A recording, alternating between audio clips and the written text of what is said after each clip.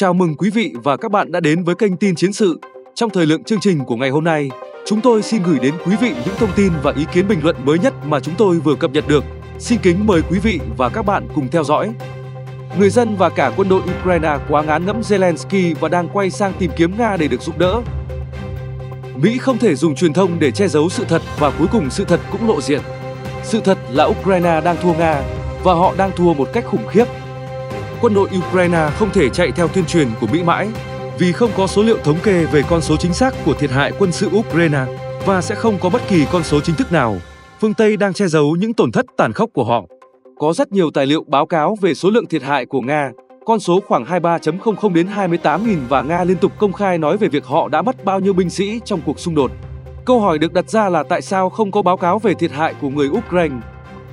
Tổng thống Ukraine, ông Zelensky hồi tháng 3 đã yêu cầu giới truyền thông Mỹ không đưa tin về con số thiệt hại của Ukraine để không làm suy yếu tinh thần của binh lính và người dân Ukraine.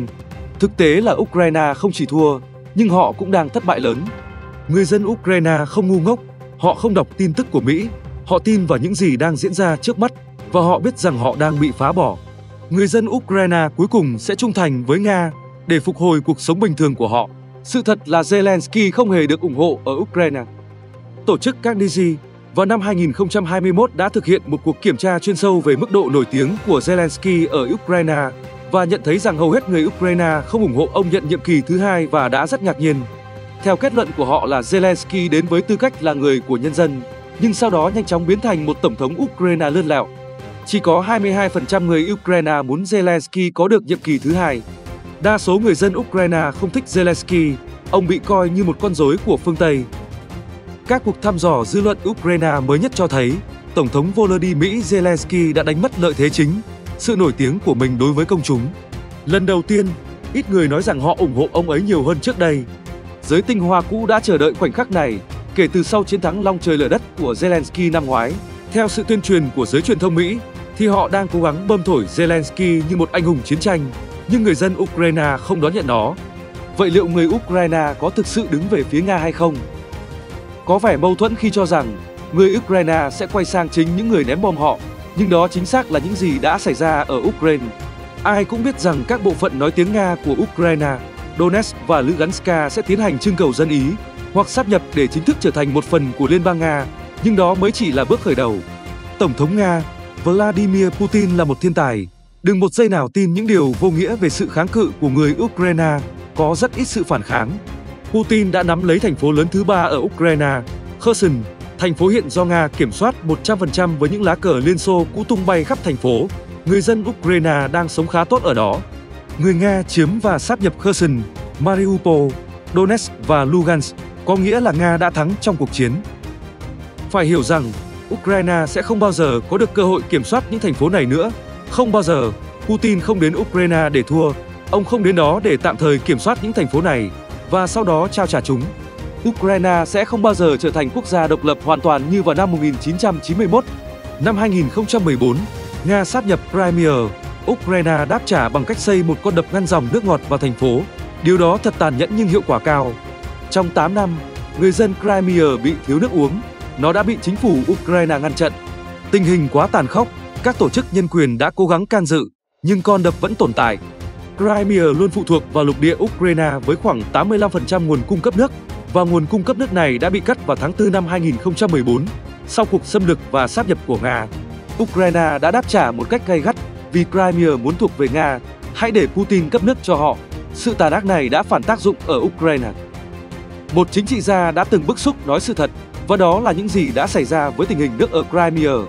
Năm 2020, Thủ tướng mới được bổ nhiệm của Ukraine Denis Bihan thú nhận rằng việc trừng phạt người dân Crimea bằng cách cắt nguồn cung cấp nước của họ là vô nhân đạo. Đã có phản ứng dữ dội từ chính đảng của Zelensky và Bihan buộc phải lập lại lời nói của mình. Người dân ở miền nam Ukraine biết chính xác những gì đã gây ra cho người dân Crimea và họ sẽ không quên điều đó. Ukraine đã xây dựng một con đập ở Kherson để cản trở nguồn cung cấp nước ngọt vào Crimea, nhưng vào ngày 25 tháng 2, Quân đội Nga của Putin đã phá hủy con đập đó và trả lại nguồn nước ngọt cho thành phố Kherson. Tuần trước Kherson yêu cầu Nga sáp nhập, Ukraine sẽ không bao giờ kiểm soát được Kherson nữa. Đầu tiên hãy nhìn vào Donetsk, sau đó là Lugansk, bây giờ là Kherson. Việc Nga giúp giải thoát và kiểm soát nguồn nước ngọt cho Kherson chính là một kế hoạch quân sự đúng đắn của Putin. Người Nga đã cho nổ con đập đó vào ngày đầu tiên của cuộc chiến, nước chảy ở đó như một dòng sông vàng. Putin đang thành công trong việc tách Ukraine ra một cách hợp pháp bằng việc sáp nhập, cũng có rất nhiều hoạt động tiếp cận lương thực nhân đạo ở các thành phố này. Người Nga đang chiến thắng trái tim, khối óc và dạ dày của người dân Ukraine. Putin đang chiến đấu với một cuộc chiến cổ điển. Ông ta đang lấy những quân cờ quan trọng nhất trên bàn cờ. Đừng tin vào những điều viển vông rằng Ukraine đang thắng. Hãy tự đặt một câu hỏi tại sao Bộ trưởng LLIOD Austin, người đứng đầu quân đội Mỹ phải gọi điện thoại người đứng đầu quốc phòng Nga cách đây 2 ngày. Chính vì sự tuyên truyền che mở sự thật, Nga đã thắng và chẳng bao lâu nữa giới truyền thông Mỹ và Anh sẽ không thể che giấu được sự thật này. Người dân Ukraine không nói giữ thức ăn của bạn đi bạn. Những người Nga kinh tởm khủng khiếp, thay vào đó, họ đang xếp hàng trong hàng nghìn người, cười và thậm chí ôm hôn các binh sĩ Nga. Các video này đều có trên Internet. Chúng cung cấp thông tin trung thực hơn bất kỳ phương tiện truyền thông nào của Mỹ hoặc các quốc gia NATO. Người Ukraine không ôm Zelensky. Thành phố Mariupol hiện là thành phố nổi tiếng nhất Ukraine. Cả thế giới đều biết đến thành phố càng nhỏ bé này vì nó đã bị người Nga ném bom đến từng mảnh. Vậy mà một điều kỳ lạ đang xảy ra ở đó. Rất nhiều người Ukraine đang chọn chuyển đến Nga. Cuối cùng, khi những công dân sống trong nhà tù được giải thoát khỏi nhà máy thép Azovstal, khoảng một nửa số người ở trong nhà máy đã quyết định đi cùng với người Nga. 60% ở lại Ukraine nhưng quan trọng hơn là 40% tự do chọn chuyển đến Nga. Một tháng sau khi Nga xâm lược Ukraine, một đoạn video tuyệt vời xuất hiện từ Mariupol. Các công dân trên máy quay đang nguyền rủa Zelensky theo đúng nghĩa đen. Họ đổ lỗi cho anh ta vì tất cả những đau khổ của họ chứ không phải người Nga. Zelensky đã đáp trả việc nhiều người Ukraine chuyển đến Nga bằng cách nói rằng người Nga đã ép buộc họ, họ không tự ý đi theo. Một người phụ nữ mang thai với máu đầy mật bước ra từ khu sản phụ bị đánh bom đã trở thành hình ảnh biểu tượng về sự tàn ác của người Nga trên các phương tiện truyền thông phương Tây. Tuần trước, người phụ nữ này đã gây chấn động giới truyền thông phương Tây khi tuyên bố sẽ sống trong khu vực do Nga kiểm soát và cô đã hạ gục Zelensky bằng cách đăng một đoạn video nói rằng không ai ép buộc người Ukraine phải đến Nga, mọi người được đi tự do ở bất cứ đâu họ muốn. Một lần nữa, các phương tiện truyền thông không trung thực của Mỹ và các phương tiện truyền thông của Anh trông thật ngu ngốc và đương nhiên họ sẽ không bao giờ trình chiếu video này. Truyền thông Mỹ đang tham nhũng, họ làm việc với Washington để ngụy tạo những câu chuyện hàng đêm cho những người đàng hoàng ở Hoa Kỳ. Zelensky là một nhà sáng tạo truyền thông cho người Mỹ. Công việc của anh ấy là lên truyền hình và thuyết phục người Ukraine rằng họ đang chiến thắng. Khi sự thật thì những xác chết người của Ukraine nằm rải rác trên đường phố. Công việc khác của ông ấy là kiếm từng đồng từ nước Mỹ. Nói một cách nhẹ nhàng, Zelensky là một kẻ hút máu đói tiền. Ông ta muốn Ukraine vĩnh viễn thuộc biên chế của Mỹ. Người Ukraine không hát những lời ca ngợi Zelensky, người Mỹ thì càng không. Zelensky không phải là anh hùng đối với những người châu Âu bình thường đang cố gắng kiếm sống.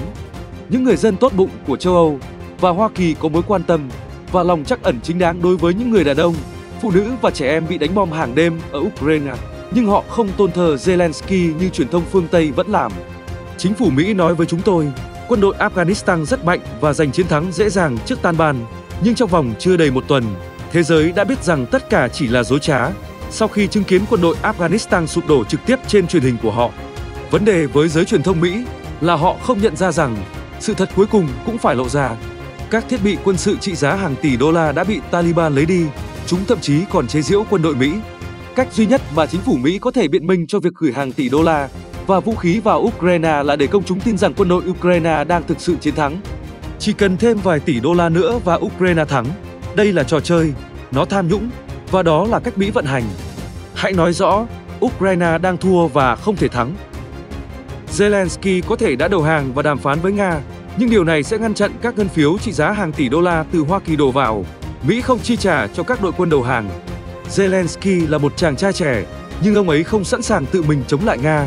Ông ấy đã lên Twitter khi các công dân Ukraine của ông ấy bị tàn sát.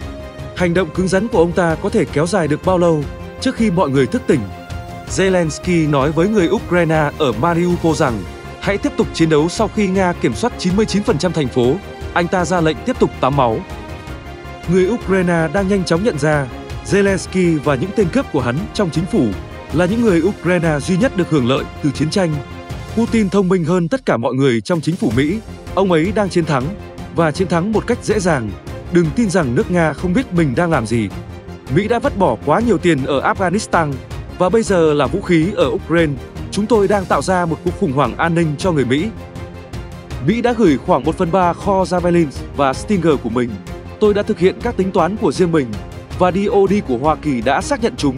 Mark Kansian, cựu đại tá thủy quân lục chiến Mỹ và là chuyên gia chính phủ về chiến lược ngân sách của Lầu Năm Góc, hiện là cố vấn cấp cao tại Trung tâm Nghiên cứu Chiến lược và Quốc tế ở Washington DC, cho biết Kansian cảnh báo sẽ mất một thời gian để Mỹ bổ sung những nguồn cung cấp này.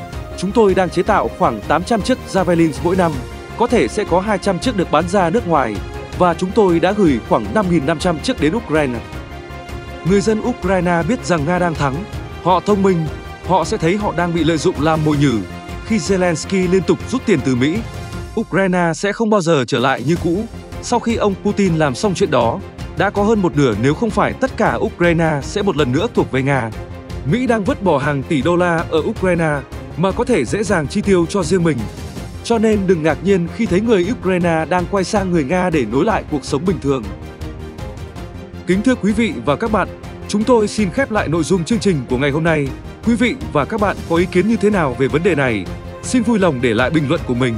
Và đừng quên nhấn nút đăng ký cũng như theo dõi và chia sẻ để nhận được các bản tin mới nhất. Xin kính chào và hẹn gặp lại quý vị ở những chương trình tiếp theo.